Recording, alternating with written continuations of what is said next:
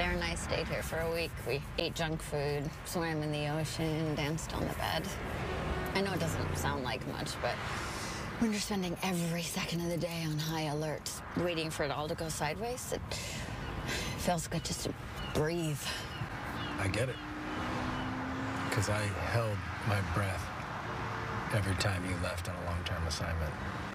And then you come home and And I'd still be gone in my head. No matter how much I wanted to be there with you.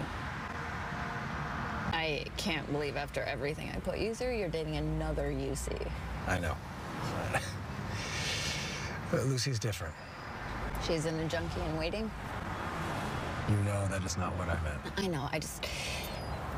Seeing you again brings it all back up, you know? I do.